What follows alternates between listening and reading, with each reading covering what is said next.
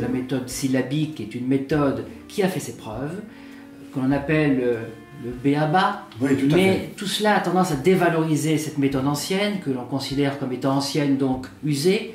Or, c'est une méthode qui a fait magnifiquement ses preuves. Elle a été, vous le savez, euh, remplacée par des méthodes dites modernes, Oui. méthodes globales, qu'on appelle aujourd'hui des méthodes mixtes, mais Oui. qui sont des, en réalité des copier-coller de ces méthodes qui euh, marchent avec certains enfants, les enfants qui n'ont pas particulièrement de difficultés.